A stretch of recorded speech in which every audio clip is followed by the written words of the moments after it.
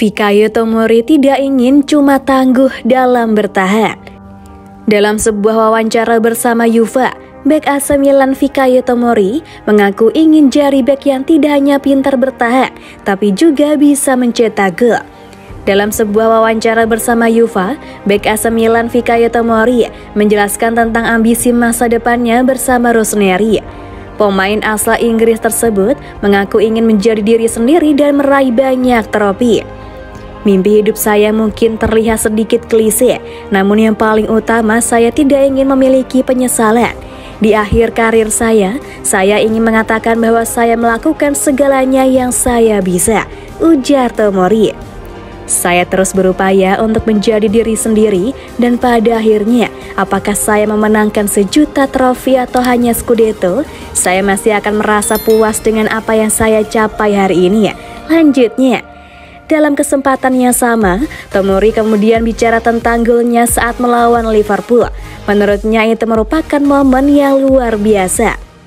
Saya ingat ketika mencetak gol melawan Liverpool, saya berpikir ketika mencetak gol di San Siro untuk Milan di Liga Champions, wow, ini apa yang idola saya lakukan. Dan sekarang saya melakukannya sendiri. Gila, ini luar biasa.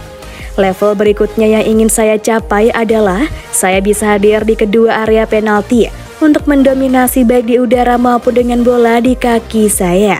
Jelas Tomori terkait ambisinya sebagai back yang bisa produktif mencetak gol.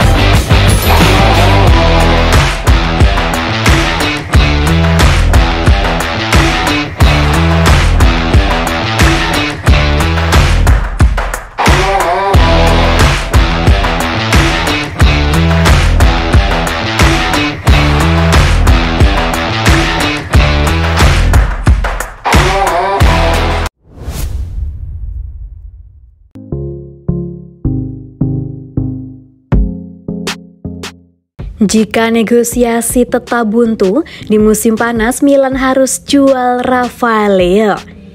AC Milan dan Rafael Leo masih belum sepakat terkait kontrak baru. Pemain 23 tahun asal Portugal tersebut kontraknya akan selesai di akhir Juni 2024 nanti. AC Milan dilaporkan telah menawarkan 7 juta euro plus bonus untuk memperpanjang kontrak mantan pemain Lille tersebut. Namun sayang tawaran tersebut belum mendapat respon positif dari pihak sang pemain. Proses negosiasi kontrak Rafael Leo dengan Milan masih terus berjalan dan hingga kini masih belum terlihat titik temunya. Kondisi ini dilaporkan makin sulit setelah beberapa tim dari Premier League mencoba untuk merekrutnya di bursa transfer musim panas nanti, di mana mereka menawarkan finansial yang jauh lebih baik dari yang ditawarkan tim Rossoneri. Laporan terbaru menyebut jika Chelsea masih berada di daftar teratas tim yang menginginkannya. The Blues masih belum puas meski mereka sudah belanja banyak dengan mendatangkan nama-nama besar seperti Mudryk dan Kunku. Tidak hanya itu, Manchester City pun dilaporkan telah masuk ke dalam daftar tim yang sedang mencoba mendatangkan Leo di musim panas nanti. Ini sesuai dengan permintaan pelatih Pep Guardiola yang membutuhkan striker tajam di sisi sayap. Direktur AC Milan, Paolo Maldini dan Frederic Massara perlu mempercepat proses perpanjangan kontrak pemain 23 tahun tersebut. Jika tidak tercapai sampai musim panas nanti, Il Diavolo mau tidak mau harus menjualnya dengan harga tinggi. Milan sendiri memandang Leo sebagai aset masa depan yang harus dipertahankan. Namun jika tuntutan gajinya di luar batas kemampuan klub, pilihan terbaiknya adalah menjualnya di musim panas nanti.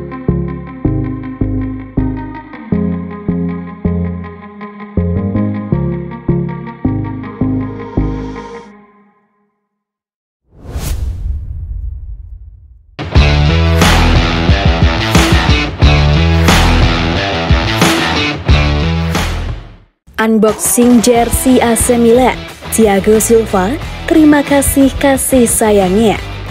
Dapat jersey khusus AC Milan, Back Chelsea Thiago Silva ungkap rasa terima kasihnya kepada Rosemary.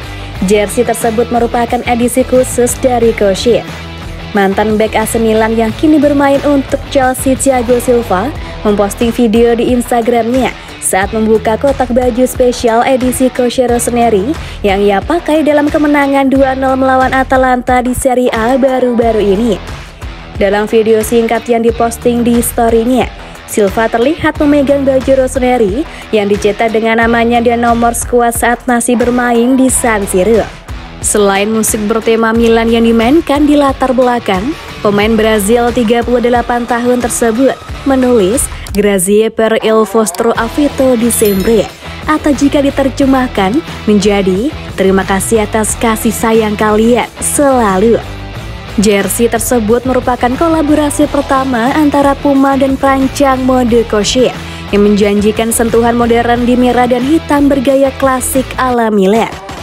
Menurut pernyataan di situs resmi klub, desain futuristik ini dimaksudkan untuk menempatkan warisan di pusat semesta pixel baru.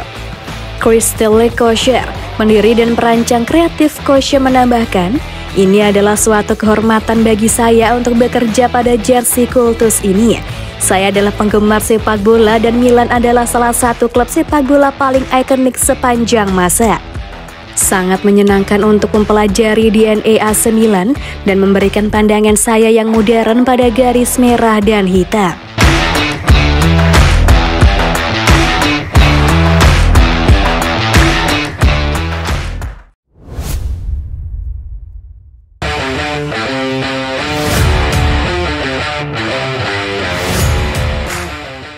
Alessandro Nesta minta pemilik AC Milan belanja pemain baru.